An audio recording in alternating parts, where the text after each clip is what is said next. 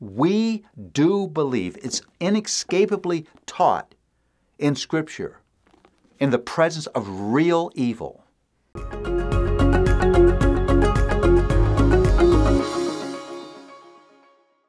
So we're working our way through these five final directives that are in the last section of 1 Peter 5. The first one was, There's a king and he is not you. The second one is, Rest in your Savior's care. Here's the third one in verse 8 Take life seriously. Be sober minded, be watchful. Your adversary, the devil, prowls around like a roaring lion seeking someone to devour. I, I, I love these two uh, phrases be sober minded. That's be serious in the way you think about life.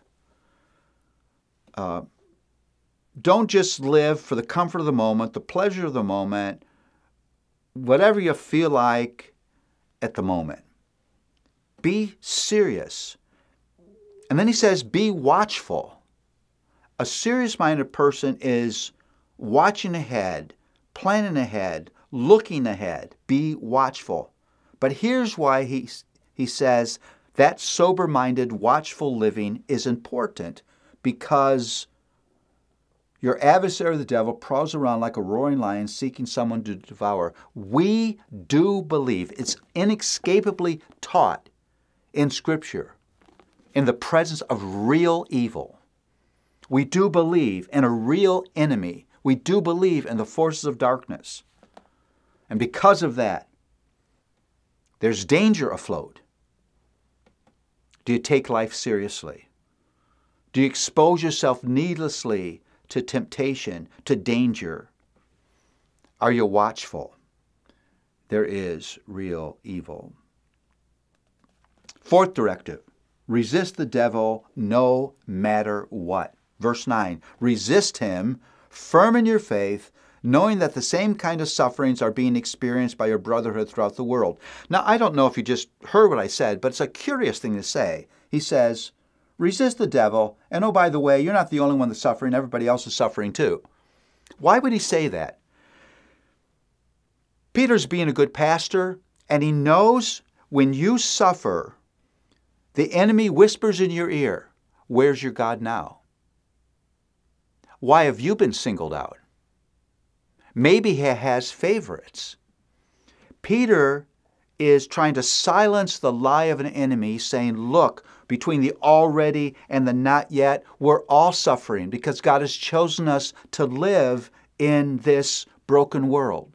So don't let suffering break down your resistance. Resist the devil no matter what you're going through. You know, at the face of suffering, it's easy to give up and say, Why am I reading my Bible? Why am I praying? Doesn't seem like God is even there.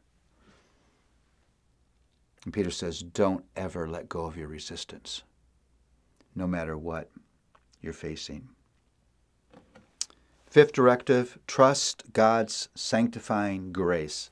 I love this. He says, And after you have suffered a little while, the God of grace, who has called you to his eternal glory in Christ, will himself restore, confirm, strengthen, and establish you. To him be the dominion forever and ever. Amen. God will complete his work. God will complete his work. God will complete his work. He will restore. He will confirm, He will strengthen, and He will establish. Listen, our problem is never God's faithfulness, our problem is our faithfulness. God will do what He's promised to do. Here's the five directives There is a king, He is not you. Live that way. Rest in your Savior's care. Take life seriously. Resist the devil no matter what and trust, build a life based on the surety of His sanctifying grace. Do I want to be a king? Do I doubt God every time hardship happens? Do I have a silly way of approaching life that lacks seriousness? Do I let go of my resistance when things are hard? Do I really trust God's sanctifying grace?